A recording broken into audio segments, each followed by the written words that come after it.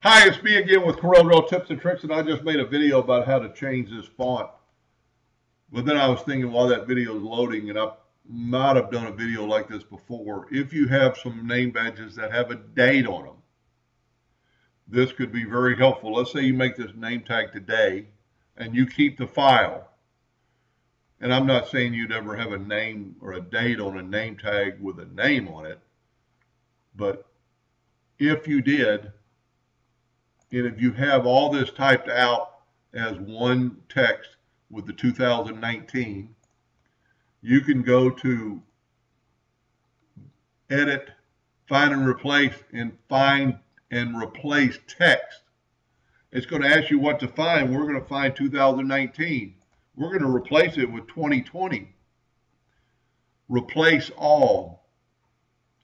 And in that short a time, it changed all your dates to November 7th, 2020. Now we could take it a next, next, a little further. Let's back up here. I'm pretty sure this will work. Let's go to edit, find and replace, and let's say it's on a different name or a different day. Let's find 7 dash or comma 2019. Let's replace it with 8. Let's say it's on the day after 2020. See if this works.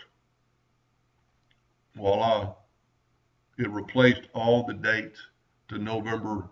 And you could change it to December, you know, whatever you wanted. That's pretty handy. It could be very handy making a lot of name tags if you had a whole page and you wouldn't have to go through there and change it. I hope that helped a little bit, and thank you for watching.